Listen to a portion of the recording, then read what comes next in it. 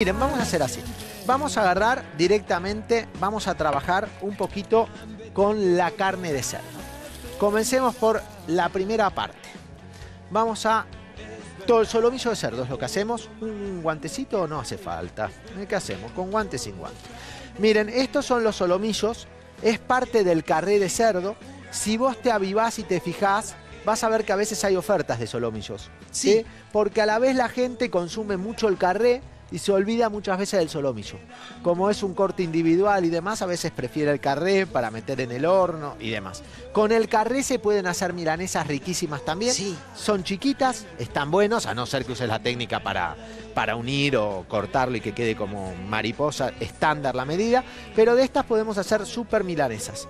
Este solomillo así lo compré. Ajá. Entonces, en este momento lo que podemos hacer es el corte tipo cachuflet que hago normalmente. Sí, sí. Bueno, Ahí está. no voy a llegar a desdoblarlo totalmente, pero es muy simple. Vamos a ir desdoblándolo. Acá no llegues hasta el fondo, ahí lo vas abriendo y vamos a ir desdoblando para un lado. Así, miren. Me mantengo Ahí lo vamos, ¿ven? Desdoblando, sin problema, despacito. Ahí vamos haciéndolo. Desdoblamos un poquito para un lado, doy vuelta y corto para el otro. ¿Eh? Sin problemas. Ahí voy. Voy desdoblando. Voy tirándolo hacia afuera. Qué buena música, ¿eh? Hoy es el día del folclore, creo. Si mal no recuerdo. Le mando un beso a todos los folcloristas, a los amantes del folclore, ¿eh? que nosotros siempre los seguimos, ¿eh? los invitamos. Así que beso a todo el folclore, a la comunidad del folclore. Miren, ¿les gusta esta milanesa? Excelente. Bien, lo que puedo hacer es también agarrar un papelito. Es una bolsita de plástico de las que se llaman bolsitas de tiro. Les ponemos de, tiro, porque las en el De supermercado tiro. están puestas en un cosito que tirás, track y se arrancás la bolsita a la verdulería, Sí. por ejemplo. ¿Sí? Entonces directamente ponemos ahí. ¿Puedo hacerlo así, chino? ¿Eh? Lo puedo golpear un poquito. Ahí. ¿Ves? Esto es para que quede igual, se cocine perfectamente bien y podés hacer una gran milanesa, como verás. Enorme. Mirá. Sí, pero le pego despacio, ¿eh? no es que la estoy. No la mata. Mirá, ¿se ve? Perfecto. ¿Les parece bien? ¿Correcto? Está buenísimo. Muy bien. Milanesa. ¿Quieren que les muestre otra por las dudas? Agarrás el solomillo. Vamos una vez que agarro el solomillo. Corto a la mitad, divido en dos, a lo largo. Ahí. Trata de sacarle la grasita que pueda tener y demás. Estos ya vinieron limpios, así que no tuve ni que trabajar. La desdoblo tirando, siempre como soy diestro, corto hacia la izquierda. Si fuera Mm. zurdo, cortaría hacia la derecha, con la otra mano hacia la derecha. Es más fácil de manejar el cuchillo. Acá, nervio afuera, así queda más lindo todo. Una vez que está para un lado, voy para el otro lado. ¿Sí? La desdoblamos así. Perfecto. Ahí va. Son muy buenas estas milanesas, vas a ver. Son tiernas siempre, sabrosas. El cerdo tiene eh, la mitad de la carne del cerdo, de las grasas de este cerdo, Sí. el cerdo alimentado hoy en día para el consumo y demás, son de buena calidad. Son tipo oleoicas, como el aceite, parecidas a las del aceite de oliva. ¿Eh? Así que se pueden utilizar perfectamente bien. Esto de que agarro y les pongo agua a la bolsita, Mm. Funciona, es para que no se pegue el film. Si no se pega el plástico a la carne y la rompes toda, mismo si es de pollo y demás. Por eso lo mojas un poquito con agua, tac, y ahí sí se extiende. Cada vez que la golpeo puede patinar, si no se pega y se rompe. Acá lo que quiero es que quede más o menos la misma altura en los bordes. ¿sí? Por eso golpeamos y obtengo una buena milanesa. Mirá. Excelente. ¿Les parece bien? Sí. Bien, esto lo hice con un solo millo. ¿eh? Ahora, secreto, es simple y fácil, no hay vuelta. Lo hacían las abuelas, lo hacemos nosotros y esto no falla. Huevo. Sí. Al huevo lo condimentás bien. Sal. Pimienta, chino, bastante también. ¿Les gusta el orégano? Sí. Orégano. Buena cantidad de perejil fresco, si Mm. puede ser. ají molido y yo le pongo ajito, un poquito de leche, Mira. ahí. Algunos le ponen mostaza, ¿sí? cada uno más o menos lo que quiera acá. Le pongo chorrito de buen aceite de oliva, ahí. Sal le puse, ¿no? Sí. Bueno, le voy a poner un poquito. No, zarpado. La verdad que no hay que probar esta mezcla porque el huevo está crudo. Pero tiene que quedar salada como agua de mar la mezcla, en serio, porque es en el único lugar, sería incomible. Te lo digo así, esto está tan salado que no lo puedo comer, pero es la única sal que va a tener la milanesa. Para que tome sabor. Sí, entonces ya después no le voy a poner sal ni arriba, ni cuando la saque de la, de la cocción y demás. Estas milanesas son aptas para hacer en el horno, y son aptas para hacer en una sartén o en una freidora, desde ya.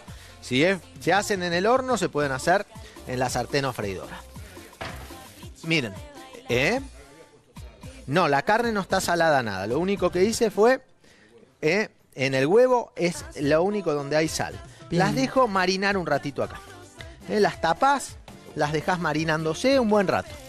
Puede ¿De ser de un acuerdo? día para el otro. ¿En Sí, normalmente mucha gente no quiere, no, de un día para otro dicen que se secan bastante por la sal y demás, eh, pero con una horita que estén ahí te vas a comprar el pan, hacer alguna comprita y volvés y ya las Bien. podés hacer. ¿De acuerdo? Muy bien. Una vez que está, digamos, hoy las hago simple y fácil.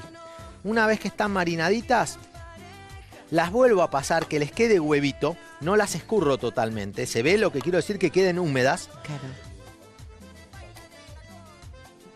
¿What? ¿Qué dice el chino? Ah, bueno, pero ¿puedo usarlas de pan con nada más? No. Sí. No, no, no. Si usted no quiere, Se no. enojó el chino. ¿Eh? Me paró, Se me paró en el aire tres veces. caliente, como una pava. ¿Qué pasó? A usted, pero a usted le gusta. co- Ah, Vamos a hacer la- su preferencia. Usted en su casa las hace con miga de pan Miga de pan y pan. y pan. Las vamos a hacer con miga de pan y pan. ¿Eh? De acuerdo. Bien, chino. A ver, este panco es caro. Es más caro que la miga de pan. Ah. Es el pan japonés. Se compra en el mercado chino, en algunos supermercados o algún almacenero que es más osado y lleva cosas distintas. Perfecto. Es miga de pan. Esto lo más parecido hacía mi abuela y tu abuela y vos misma. Mi abuela tenía una maquinita de rallar pan. Era la típica y había una vez en la semana que la veía rayando el pan. El pan que sobraba todos los días se secaba. Cuando estaba seco, no, si lo pones en el horno tiene que ser muy despacito la velocidad del horno porque no se trata de dorarlo, se trata de deshidratarlo. Cuando estaba seco, ¡trac! que lo, molés, lo ponían en una maquinita por arriba y salía el pan rallado que podía ser más grueso o más fino. Esto es lo más parecido. Bien. Esto es un pan cortado en espiguitas. Si vos no tenés este pan, lo harás con rebozador o con el pan que tengas. Está bien. En este caso mezclamos lo que dijimos, miga de pan es rebozador, mitad rebozador, mitad panco. Está bien. Queda rico y bueno. ¿El y rebozador que se compra no viene mezclado con harina? el rebozador que se compra, pensá, ¿En si es de pan tiene harina. Perfecto. Así Dije que mezclarle cosa. harina a algo sería medio al cohete porque para hacer el rebozador Ya. es verdad que nunca, a ver, nadie se imagine que para hacer rebozador hacemos panes, los cocinamos y después hacemos lo que sobró, lo molemos y hacemos rebozador. Ah. El rebozador ya se hace la mezcla que tiene los diferentes productos como tiene el pan con saborizadores y demás para que sea sequito y chau. Nunca fue un pan. Pero tiene harina en la composición y Muy sí, bien, esa base de bien. harina. Aparte hacer algo y después agregarle más harina cuando la pan composición es pan. harina. ¿eh? bien, muy bien. Sí, tiene harina, sí, esa base de harina. O el pan, ¿qué es? El pan tradicional a base bien, de harina. está bien, bueno, se Eh, me eh, chipoteó. Se me chipoteó. Eh, nena, venía- qua dice, bambina, mire, acá aplico la técnica que me enseñó mi abuela. La zarandeada. La zarandeada, acordate, eh, una buena zarandeada como le daba Julito.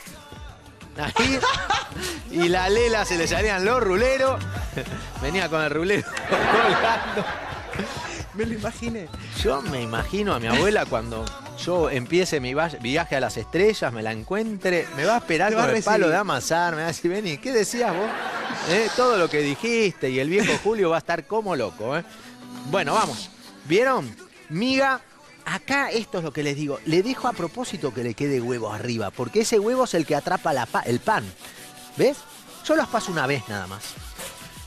Esto, si vos pones la cantidad, es más fácil, ¿viste? Ya está. Mm. Presión, chirlito suave. Ahí está. ¿Cómo andan las tías? ¿Bien? Bien, estamos hablando mirá, de la tengo Lola, las mirá milanesa. eso, mirá eso. De la milanesa. Tengo las tías en el comedor. Queremos milanesa. Pati y Selma. ¿eh? Pasti Selma, el tío Adrián, Sí. ¿eh? que le está contando De Los todo. cuentos. los cuentos de cuando era chico, de cuando jugaba al Tinenti, ¿eh? Tinenti. la locura que hicieron con el león en el zoológico, Claro. ¿eh? con el mono, ¿En serio? ¿eh? Oh, no. sí, todo. Así que muy bien. Sí sé. Bueno, chicos, milanesas, ¿cómo las ves? Hermosa. Hermosa, Saru. A ver, yo vuelvo a insistir, no soy vendedor de carne.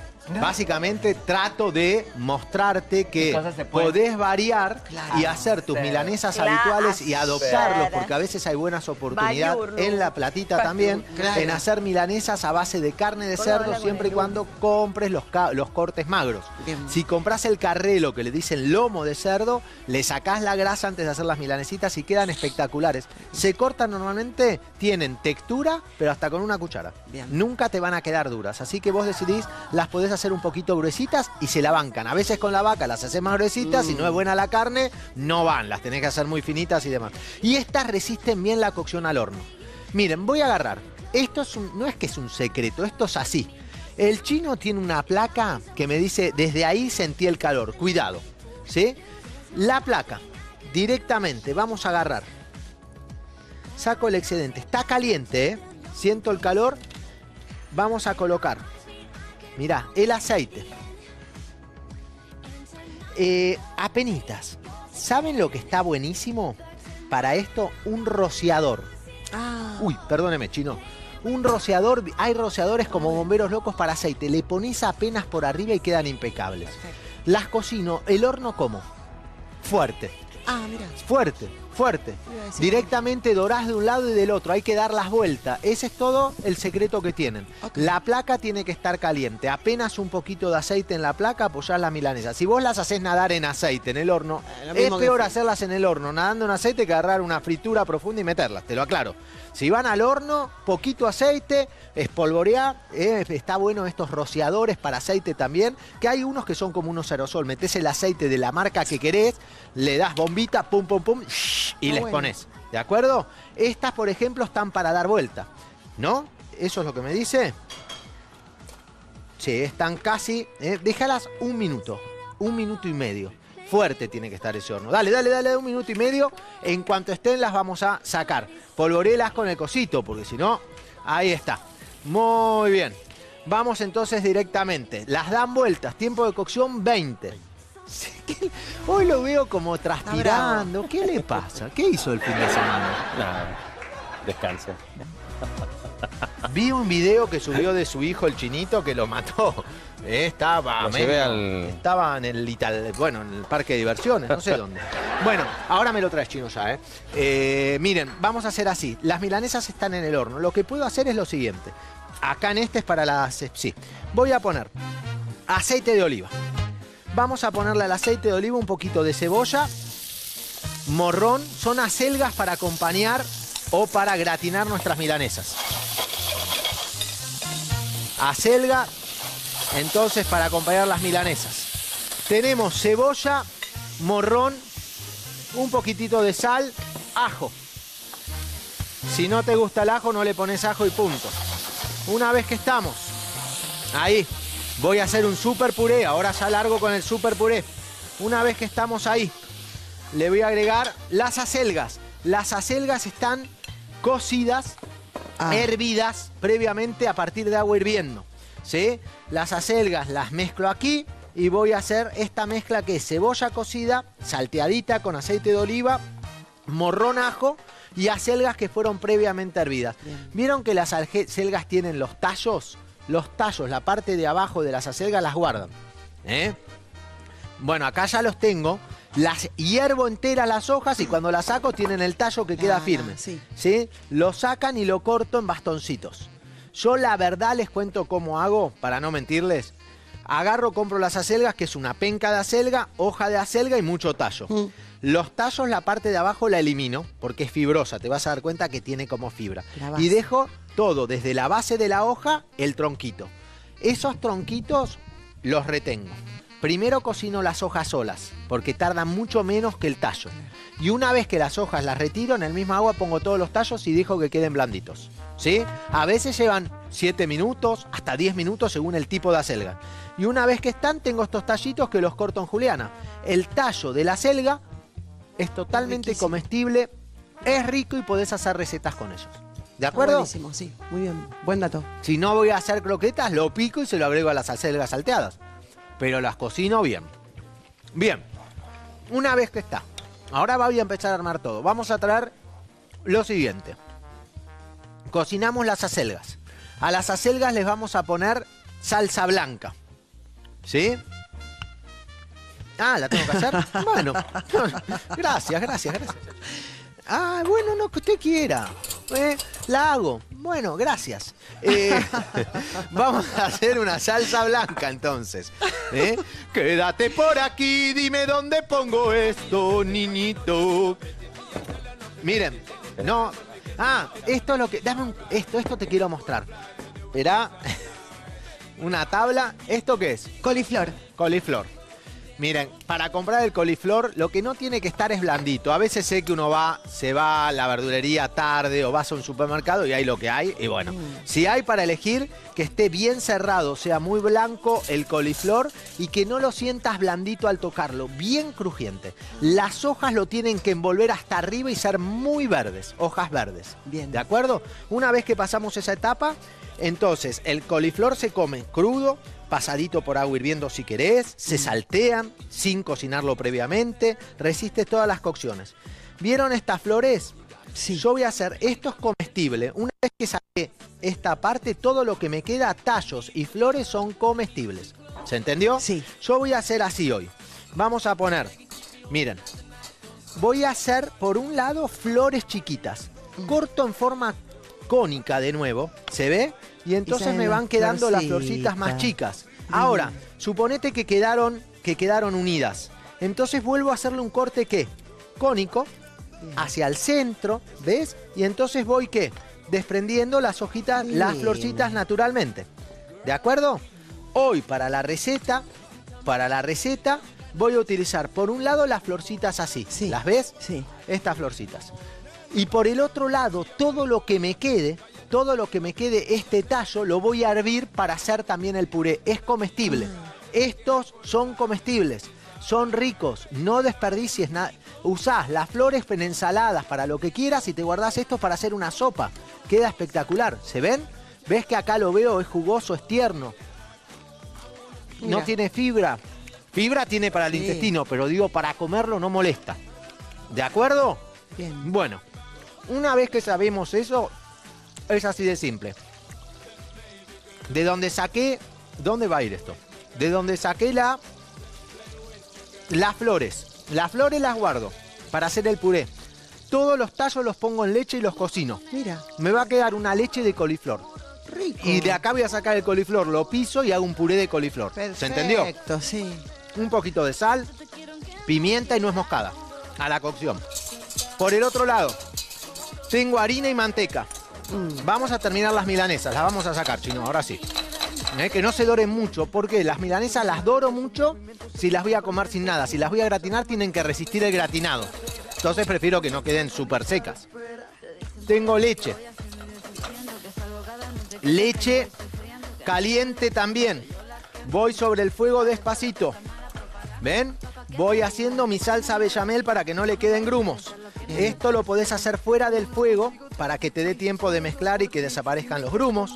Pero mirá, salsa blanca tradicional, no lleva mucho tiempo hacerla. La podés hacer con leche descremada. También pueden calentar leche y ponerle un poquito de fécula de maíz, sal, pimienta y nuez moscada. Cada queda más transparente, pero es lo que se llama sin harina, la salsa blanca. ¿De acuerdo? Ponemos, llevamos a ebullición, sal, pimienta, nuez moscada. Ahí. Y listo. Una vez que está. Vamos, que hierva, que hierva, que hierva, que hierva, que hierva. Vamos a empezar así. Milanesas. Les pongo un poquito de qué? ¿Queso? De queso. Queso mozzarella, queso de rallar. Si son de comer, bueno, Si estás comiendo milanesa de cerdo, sos de comer cerdo. Pero a ver, si es mucha gente, no come jamón. Sí. Porque que tiene sal, que tiene esto, que tiene el otro. Evitalo y chau. Yo le pongo, porque digo, va bomba, que vaya bomba. ¿Eh? Milanesas, eh, tenemos entonces ya con esas cositas. Miren lo que le pasó a la salsa. Bechamel. Hierve. Sí. Si no hierve el tema, el problema es que le puede quedar ¿qué? Gusto a harina.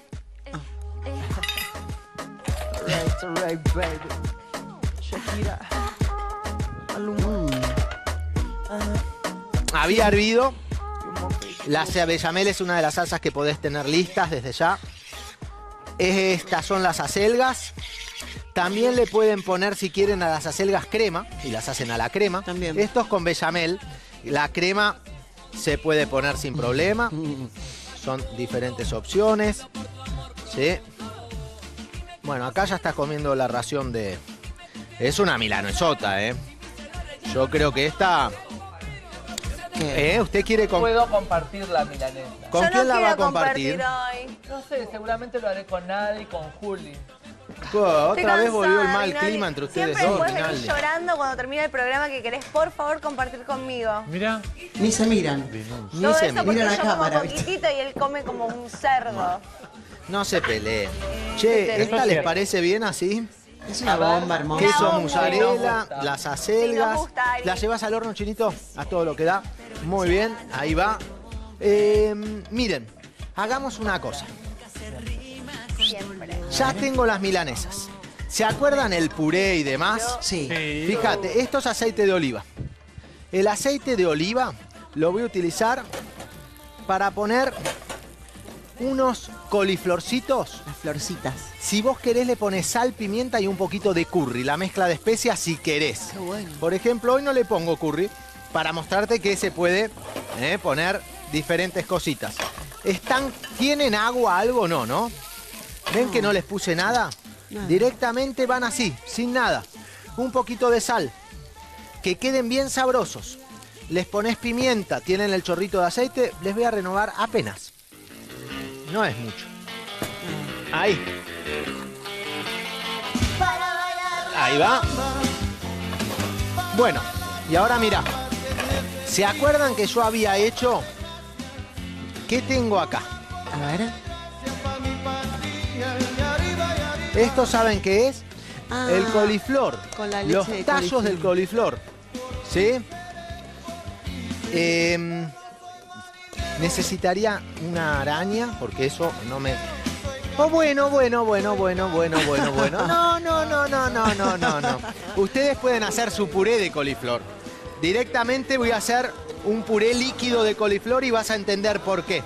Yo puedo hacer un puré donde escurro, escurro el coliflor, lo hago puré y punto. Sí.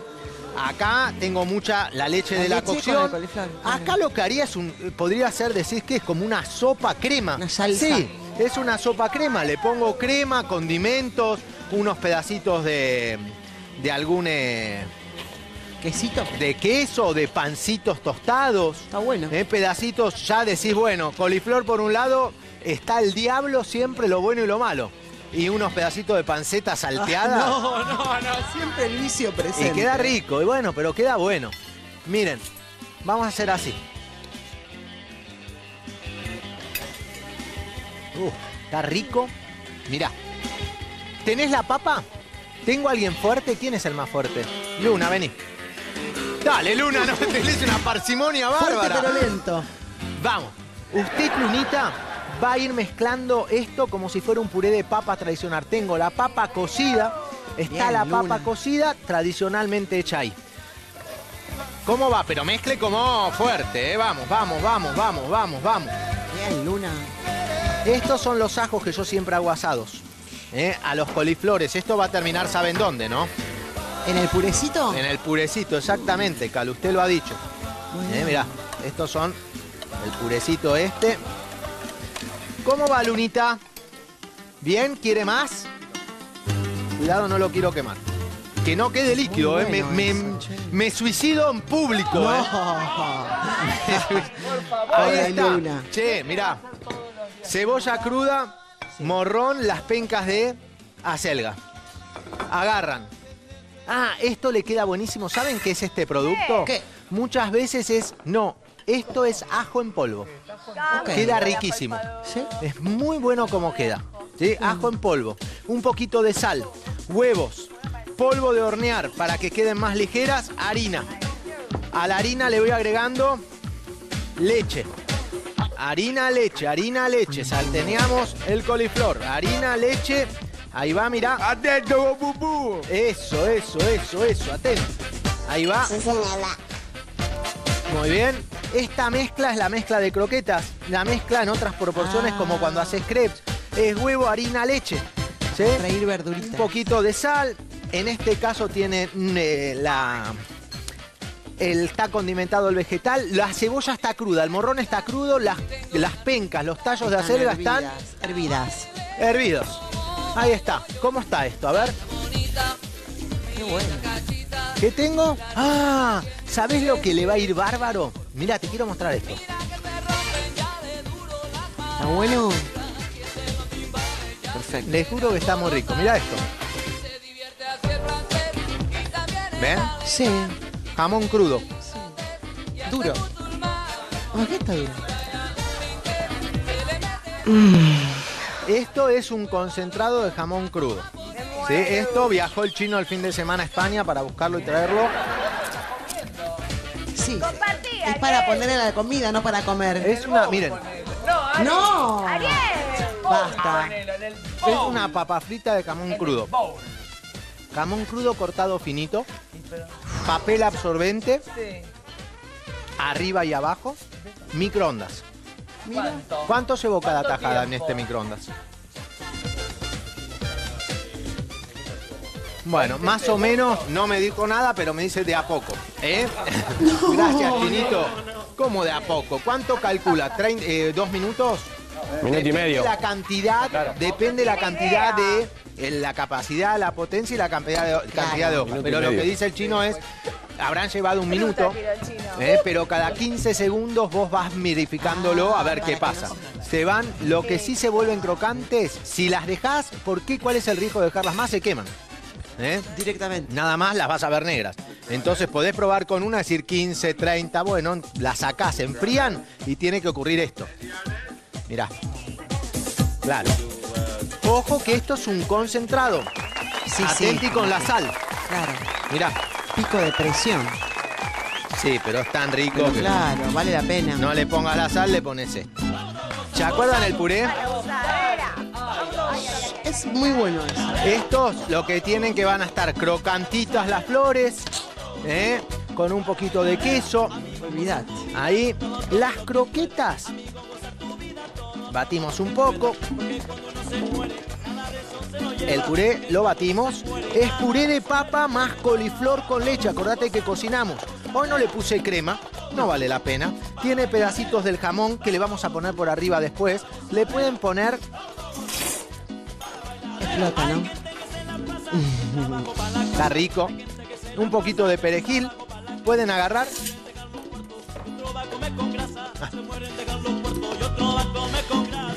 Está. Hoy el chinito se quiere ir rápido. Me dijo que tiene proctor.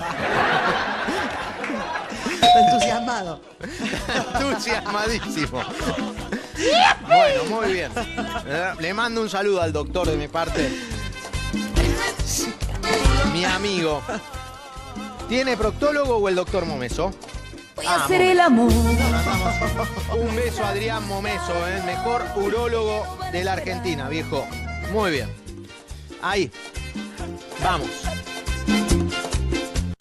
Perfecto. Ponen las croquetitas. Ahí. Una vez que están va a ir sucediendo esto. ¿Ves que se van, se unen? Está entre mezcladitos vegetal crudo. Estas son. Mirá, ¿ves? Cuando se doran van a quedar así. ¿Las ves? Sí. Son, son ri- lindas, pero son muy ricas.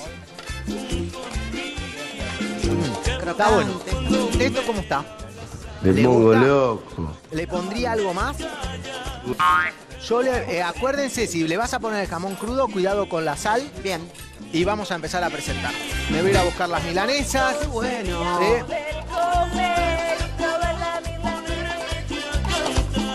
Pobre el pibe, ¿no? Que la tiene que Vale, escuchar. por eso la dejo. ¿La dejaron? La abandonó por la soporta. Claro. Sí. Que el solomillo conmigo quiere estar. acordate, vos podés decidir si te gusta o no te gusta. ¿Qué?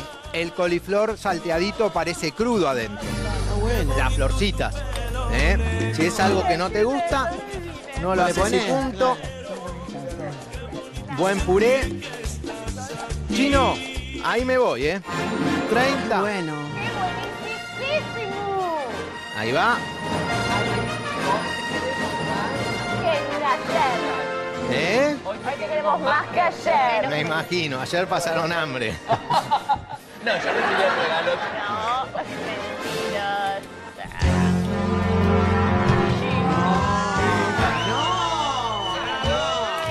Que me lleve el demonio. Muy bueno. Por las dudas, estas son, mirá, te muestro. Estas son las milanesas ¿eh? de solomillo. ¿Ves que tiene buena cantidad de carne Está abajo? buenísimo. ¿Eh? Todo lo que le pusimos. Vino Marley a comer. ¿Quién está? está Marley. En. Ah, Marley.